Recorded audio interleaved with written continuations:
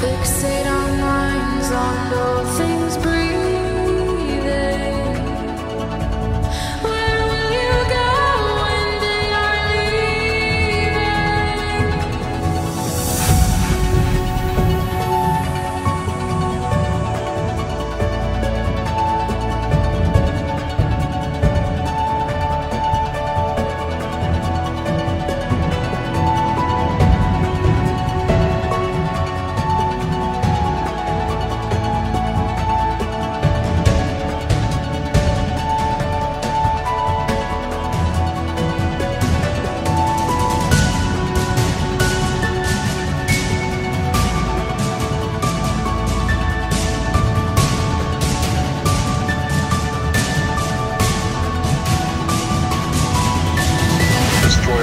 civilization and perhaps our species as